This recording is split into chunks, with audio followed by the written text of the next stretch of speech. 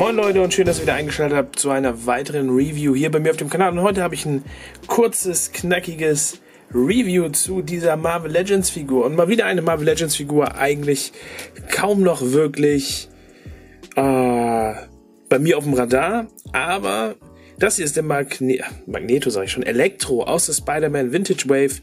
Und Elektro war eigentlich noch der einzige klassische Spider-Man-Bösewicht, der mir gefehlt hat. Und ähm, da mir die Elektros aus den letzten Jahren nicht so zugesagt haben, habe ich eben auf eine klassische Variante gewartet und hier ist sie endlich.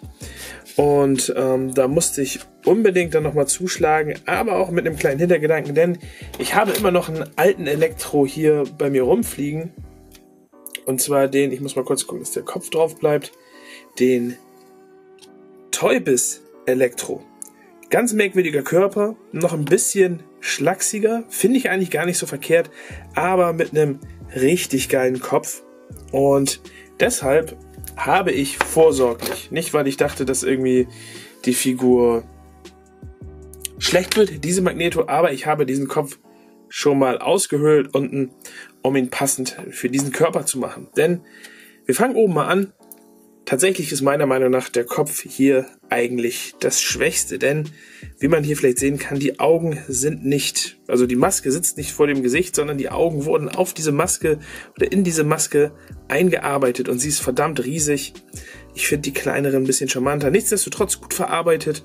Ähm, es passt Elektro, ein ganz klassischer Bösewicht, daher auch ein ähm, Vintage-Kostüm, grün mit Blitzen. Wir haben hier an den Armen, haben wir auch nochmal diese Stromform. Das gleiche auf dem Rücken, hinten das Loch im Rücken, um ihn an einen Stand, an einem Stand zu befestigen, um ihn vielleicht fliegen zu lassen.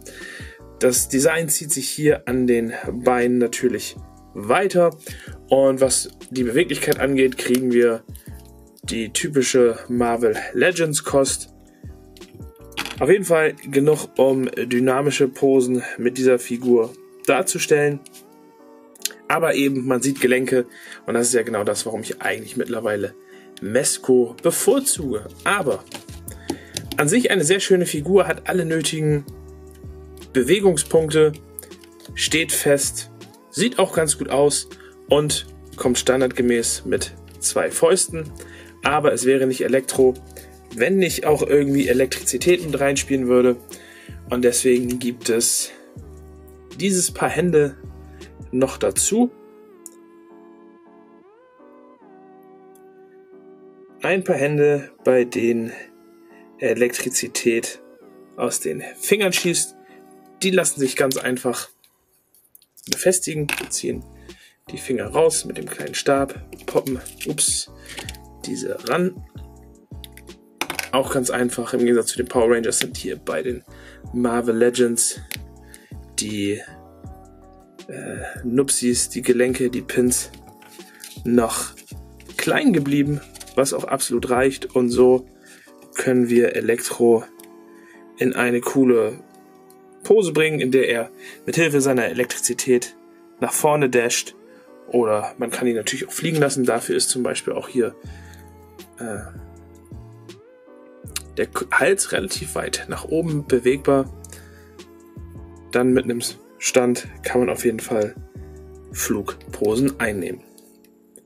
Finde ich ziemlich cool. Die Effekte sind auch super gemacht.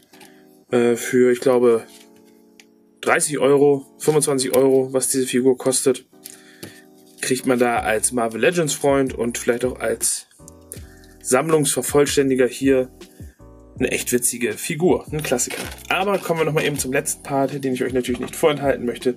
Wie sieht denn dieser Elektro mit meinem Lieblings-Spider-Man, meinem Lieblings-Spider-Man, meinem Lieblings-Elektro-Kopf aus? Man kriegt ihn mittlerweile ganz gut rauf. Ich könnte ihn vermutlich noch ein bisschen, doch, ich kriege ihn noch ein bisschen tiefer rein, damit er fest sitzt. Und dann sitzt er auch fest. Im direkten Vergleich natürlich ähm, wirkt er etwas kleiner. Ich glaube auch, dass er etwas kleiner ist.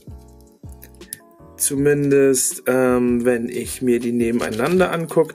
Kann aber auch eine ähm, optische Täuschung sein, weil hier natürlich auch die Maske um einiges größer ist. Aber das Kinn von der Länge her dürfte fast gleich sein. Und von daher lasse ich diesen Kopf auf jeden Fall auf dieser Figur. Natürlich, der Oberkörper ist ein bisschen breit. Wenn die Maske jetzt hier ein bisschen äh, größer wäre, wäre das, glaube ich, noch ein Stück besser. Aber es funktioniert und ich finde, das ist tatsächlich meiner Meinung nach einer der besten Marvel Legends Köpfe noch aus dieser Toy-Biz-Zeit. Und deswegen möchte ich den ungern wegschmeißen und ich habe halt sozusagen alles versucht, um ihn weiter zu verwerten und bin echt zufrieden. Das Ganze würde jetzt nur noch abgerundet werden, wenn einer meiner Lieblings-Customizer, vielleicht Scotticus Customs, Scotticus Customs, einen Stoffanzug für Elektro machen würde, dann wäre die Figur perfekt. Und perfekt ist auch diese Zeit für dieses Review, denn mehr gibt es zu dieser Figur gar nicht zu sagen, auch nicht zu zeigen. Wie gefällt euch die Figur? Wie gefällt euch das Video? Schreibt es in die Kommentare, lasst einen Daumen nach oben da, abonniert den Kanal, auch wenn ihr das noch nicht getan habt und besucht mich auf Instagram und Twitter. Das war's für dieses kurze Review. Bis zum nächsten Mal. Tschüss.